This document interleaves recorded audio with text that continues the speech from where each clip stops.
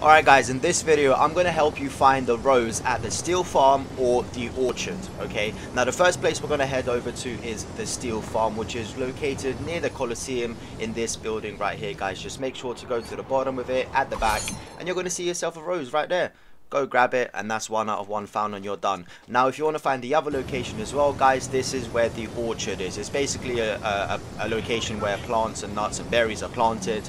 And what you're going to want to do is head inside this main house here main, main house here. And as soon as you enter you're going to find another rose guys. And that's two of two and you're done. Peace